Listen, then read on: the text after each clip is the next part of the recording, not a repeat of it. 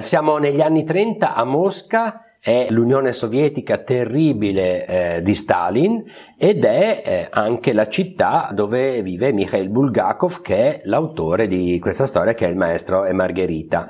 In quella città con un regime ateo materialista che non crede al trascendente, alla religione, a niente di tutto questo, arriva una strana combriccola guidata da un signore che si fa chiamare Voland e dice di essere esperto di magia nera con intorno dei personaggi bizzarri, c'è una specie di gattone che si chiama Behemoth, una specie di strega e un diavoletto che si chiama Azazzella, Azazzello e che di mestiere fa sostanzialmente il killer o qualcosa del genere. Vicino agli stagni del patriarca a Mosca incontrano due poeti che stanno discutendo. Uno è un giovane che si chiama Ivan senza troppe qualità, diciamo così, mentre l'altro è un pezzo grosso della società letteraria della, della città che si chiama Berlioz. Voland e Berlioz iniziano a discutere e il tema di questa discussione è se Gesù è veramente esistito, se era un personaggio storico o se è una figura letteraria, un personaggio come Amleto, come Romeo e Giulietta, eccetera, eccetera, eccetera.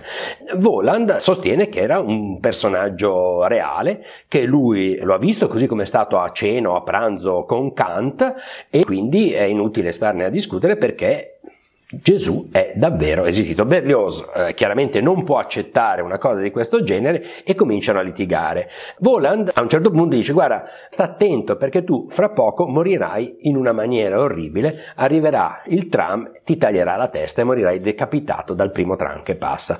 Berlioz non ci vede più e va per chiamare le autorità per fermare questo, questo pazzo che sta mettendo in dubbio delle verità ormai assodate e chiaramente muore esattamente come gli era stato predetto dal perfido Voland. Quindi questi diavoli, questi demoni, queste strane figure sono dispettose, divertentissime, ma assolutamente feroci. Ivan che era lì cerca di andare a raccontare questa storia e chiaramente lo prendono per pazzo e lo chiudono in manicomio il poeta Ivan finisce in manicomio. All'epoca e anche negli anni successivi i dissidenti, chi la pensava diversamente in Unione Sovietica veniva preso per pazzo e chiuso in manicomio. Che succede in manicomio? In questo ospedale psichiatrico Ivan viene avvicinato da un ex professore di storia che dice io non ho più un nome, mi chiamano il maestro, sono il maestro, che gli racconta una strana storia Dice che a un certo punto aveva ricevuto un'eredità, aveva potuto smettere di lavorare, aveva scritto un libro dove si parla di Gesù, Yeshua in realtà, e di Ponzio Pilato, cioè del processo che Ponzio Pilato ha intentato a Gesù. Cosa è successo? Che in realtà questo romanzo non ha mai visto la luce perché la società letteraria del tempo non l'accetta, non lo può accettare, una storia di questo tipo nella Russia di quegli anni non è accettabile, così come non sono accettabili tante delle opere, tante delle,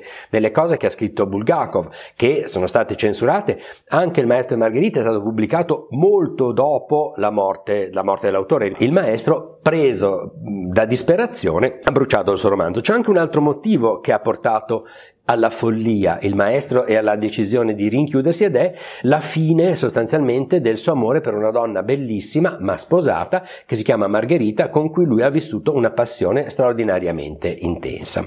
Quindi siamo all'interno del manicomio e abbiamo visto questo confronto, questo racconto struggente del maestro che ha in qualche misura buttato via la sua vita e deciso di restare chiuso lì dentro. Nel frattempo però a Mosca stanno succedendo succedendo tantissime altre cose perché la banda di questi strani invasori sta mettendo in subbuglio l'intera città. In teoria quella avrebbe dovuto essere la società comunista perfetta che il grande costruttore Stalin aveva finalmente portato alla luce, eh, sistemato, eccetera, eccetera. In realtà quello che fanno i demoni e quello che fa Bulgakov è ridicolizzare la borghesia, i funzionari, le burocrazie e anche le cricche letterarie della Russia di quel momento storico, che è esattamente quello che il potere politico non poteva naturalmente accettare.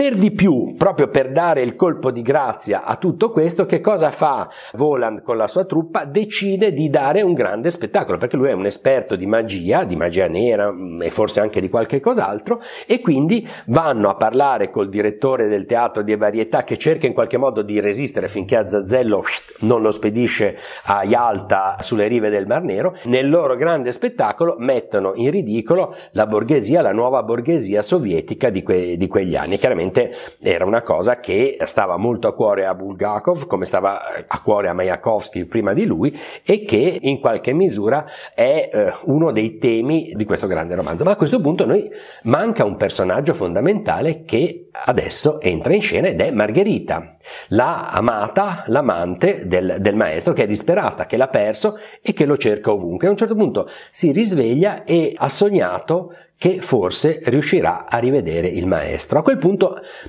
l'avvicina a Zazzello, il diavolo, le offre un patto. Io ti posso aiutare a ritrovare il maestro a patto che tu venga questa sera a una grande festa che verrà data dal nostro amico Voland.